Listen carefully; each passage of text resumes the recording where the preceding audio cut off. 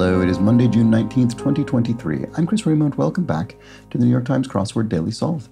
It's a Monday puzzle today, so it should be a fairly gentle themed crossword, although it is also looks to be an unusual one because you can see in the grid, you can just make out behind the gauzy privacy veil here, we have a very narrow, a tall, narrow grid. I have no idea what that augurs for the for the theme or for the, the solve, but I'm curious to find out. In any case, this unusual and ominous edition of the Daily Solve has been brought to us by Adam and Annette Noble, Emma Smith, Jake Rodkin, and, as always, the invaluable Timothy Mark, the indomitable Shoalmaster, and the incredible Horan family. So thank you so much to the six of them, benefactors of the Daily Solve Patreon campaign. They are bringing us this series, sustaining this channel. For that, I am very appreciative. So thank you to them. Thank you to you if you're a patron. Um, thank you to everybody who has supported the channel. And if you'd like to consider doing that yourself, you can head over to patreon.com slash dailysolve or click the link in the description field underneath the video. And uh, of course, there you can find all of the bonus videos available to patrons, as well as the Daily Solve Let's Check the Crosses mug available to benefactors. Um, again, thank you to everybody who is a patron. And uh, please do consider subscribing to the YouTube channel. And finally, you can also join the Daily Solve Discord chat server, a nice friendly chat community, which is linked in the description field as well. So uh, I don't have much time today, so let's get on to the solve. This is a Monday themed crossword constructed by David Liben-Nowell, who's constructed, oof, I think around a dozen puzzles for the New York Times. Uh, I forget if it's one or two dozen, but in that, I think about a dozen. In any case, it was edited, as always, by Will Shortz. And let's start solving and see what David Liben-Nowell has done with this tall grid. Prince's Irritant in a classic fairy tale. That would be a pea, the story of the princess and the pea, who, uh, what was it? It was sort of the, a true princess would be able to detect the sort of would be able to feel discomfort caused by a pea under layers and layers of mattresses. Uh, bursts as a bubble, a bubble could pop, pops. Wicked is evil. Trapeze artist is an acrobat. No, a an aerobat. A I'm not sure. Alternative to straight up at a bar would be over ice. You could have a drink straight up without ice. A South American predator whose name translates to toothfish. It must be a piranha. That's a good good etymology. This does look like arrow something. Trapeze artist. Why can I not think of what this word is? Sandwich top is sliced bread? I don't know. Somewhat R-rated. Maybe the film's a bit racy. There's a bit a bit of sort of uh, a, a, bit of sort of adult material, but not not enormously so, so it's only a bit racy. Closet items like sheets and towels are linens. And eight in Spanish is ocho. An ocean voyager is a sea liner, maybe? You could take a voyage on a sea liner. I'm not sure if that's right, but let's look at the crosses. Uh, Los Angeles, of course, is the city, so that works. Oh, yeah, slice. Okay, see. Slice of bread, sandwich top, right, okay. Why didn't I think of that after sliced bread didn't work? Okay. And that presumably, oh, may, oh, maybe we'll be building a sandwich. Uh, yes, I bet we'll be building a tall sandwich in this grid. Is this also going to be slice of bread? Sandwich bottom, is it also a slice of bread? I bet it is. Let's look at the crosses. Decorative pillow color uh, cover, a slip, a pillow sort of slip case. What do you call that? A slip, yeah, something like that. Volcano output could be lava. Big name in golf shirts.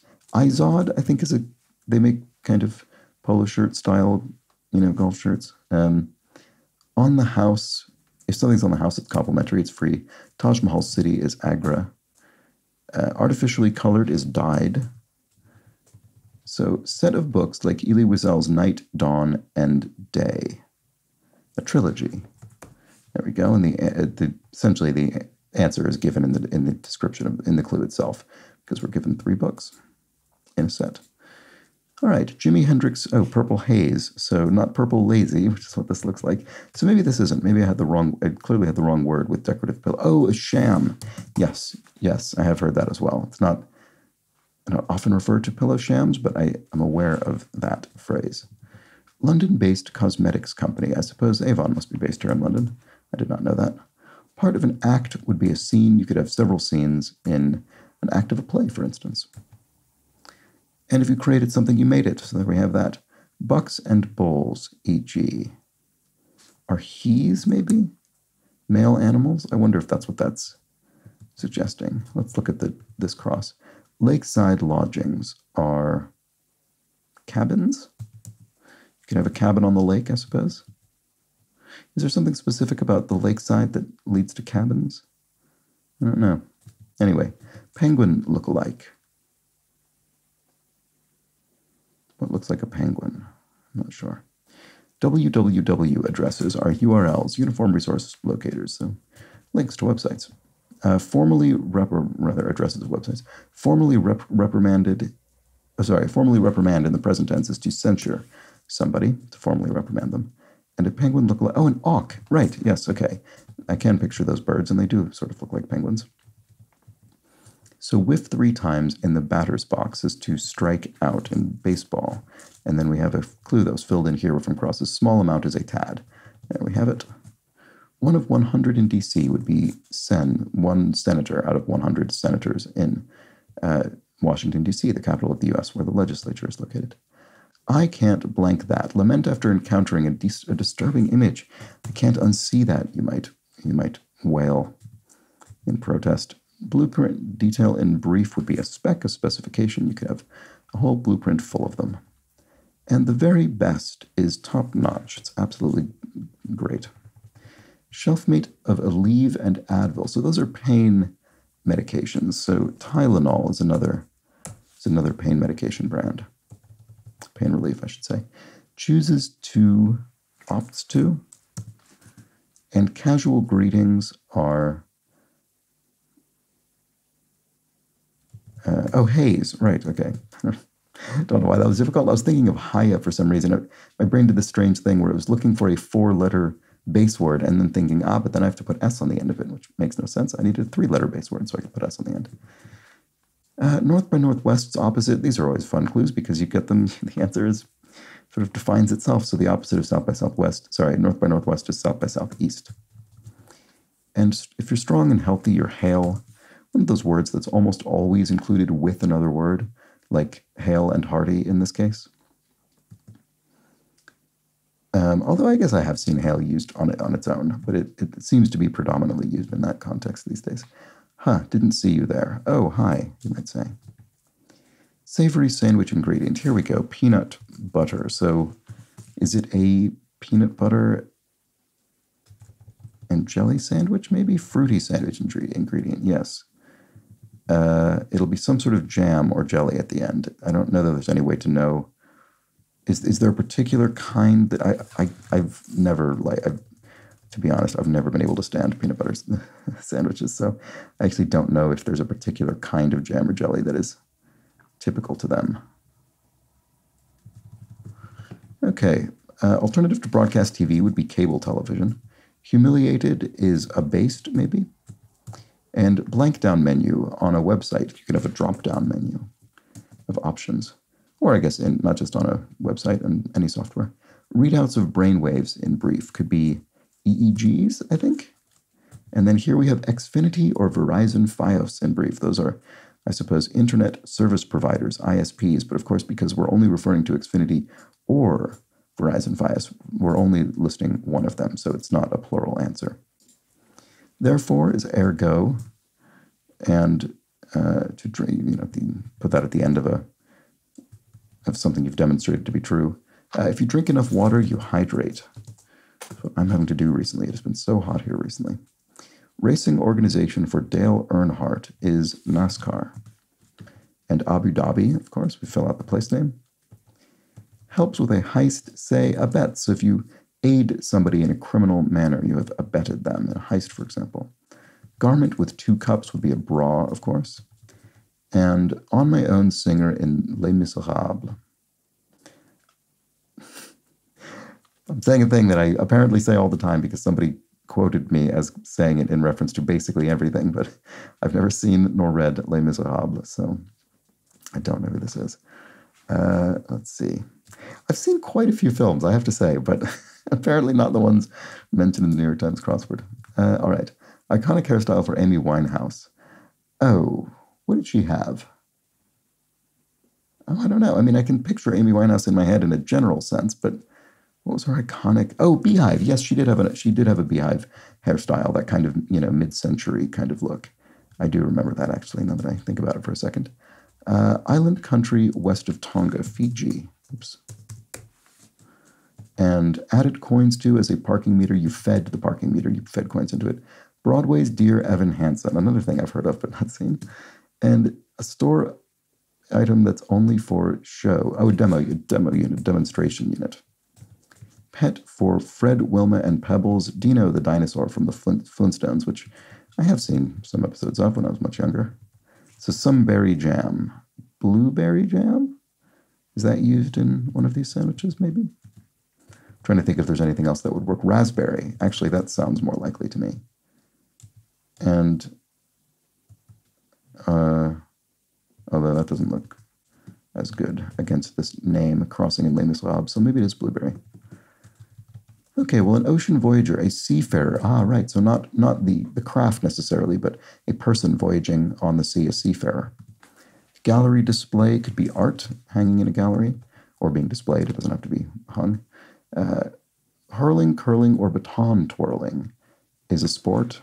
And again, because this is an or clue, we're only referring to one of these three things, not all three together. Q-tip EG is a swab, a cotton swab. That's a brand, of course, of cotton swab.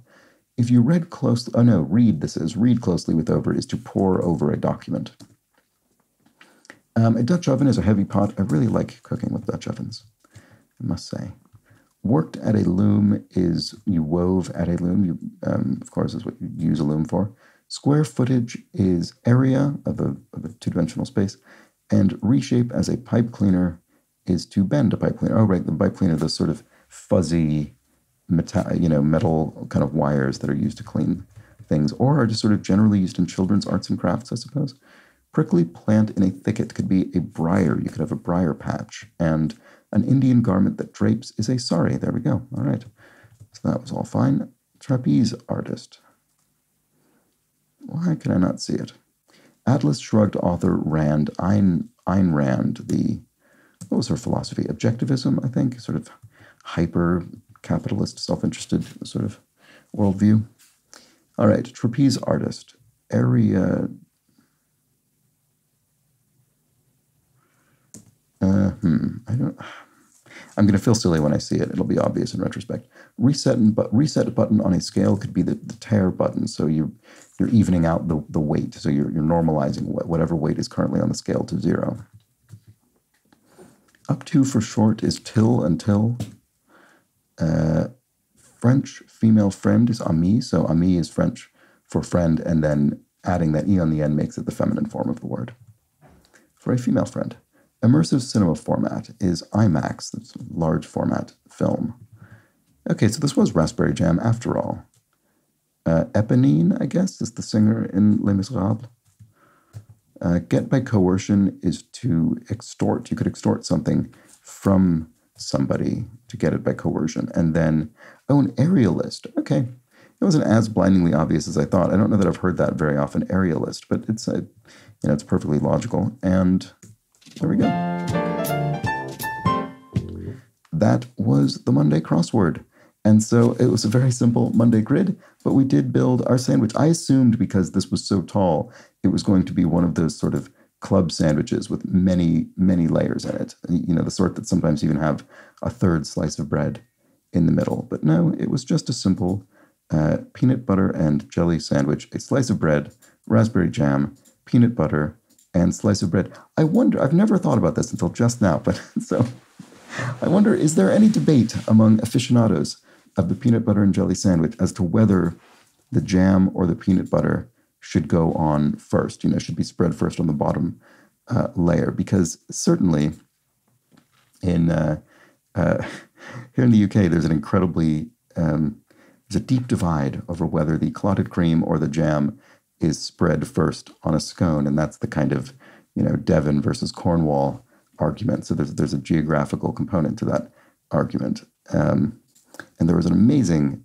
edition of the Listener crossword, which is a very difficult uh, cryptic crossword uh, that I remember solving last year that dealt with that that conflict. But anyway, is there a similar thing with jam and peanut butter on a peanut butter and jelly sandwich. I don't know, but maybe someone will will let me know in the comments.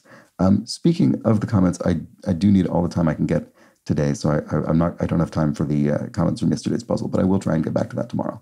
Um, and and that's that. That's that for today's solve. Uh, a nice simple theme in. I don't know. Is this?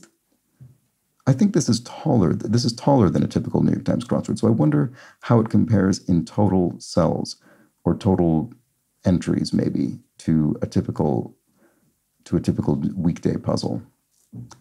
Does it sort of even out, or is it in total fewer fewer answers or letters? I don't know. In any case, that was that. It was a fun, unusually shaped grid from David uh, Liben uh, Nowell, and certainly nothing too taxing for a Monday, which is what we like. But let me know how you fared with this one. And I will be back tomorrow, of course, for the Tuesday puzzle. Do join me for that. But until then, please do have an excellent remainder of your Monday. Take care.